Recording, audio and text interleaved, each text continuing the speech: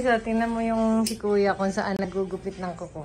Dito pas dumadayo sa kwarto namin. Gagaluhan nyo nga ng nail cutter.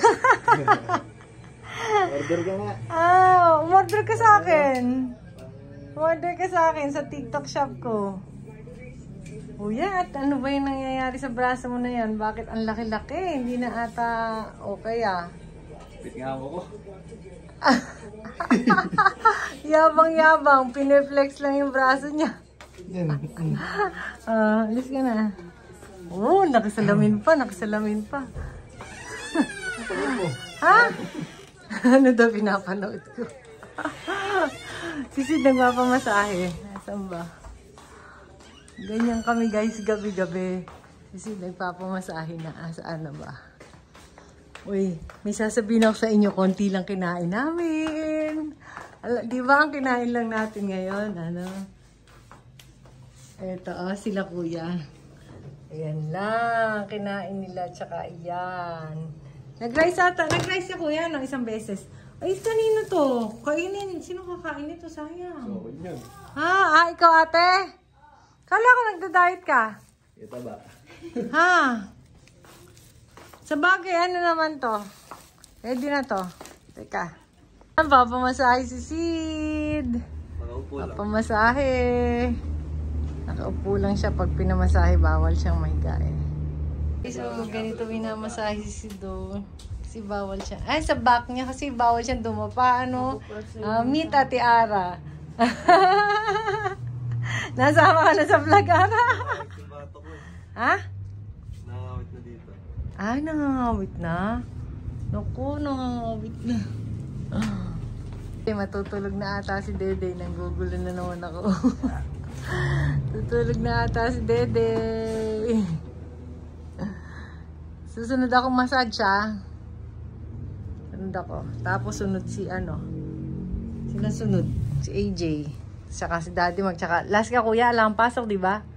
Kaya ko ba na ata ara yan? Oo. Kaya ni Ate Ara mo yan. Sanay na sanay si Ate Ara mo. Ba tayo? Lima. Wala naman sila tita Manimo. Umalis. Okay, babush. Hi guys!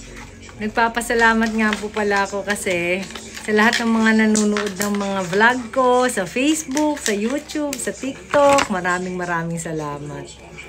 Tapos guys, teka lang nga, yan na naman ako, hindi ako makapagsalita ng dire-diretso pagka may ginagawa ako. Ayan. Kasi guys, syempre napagod ako magdamag, ay maghapon. Pagod ang lips ko sa lipstick. So maglalagay tayo nito. Ah, lip balm. Mm. Para ma-relax ang lips natin. Ito naman sa umaga, ito sa gabi. Ayun guys, tutuloy ko yung chika ko. Yun nga, maraming maraming salamat sa nanonood ng aking vlog. Guys, nakikiusap ako sa inyo.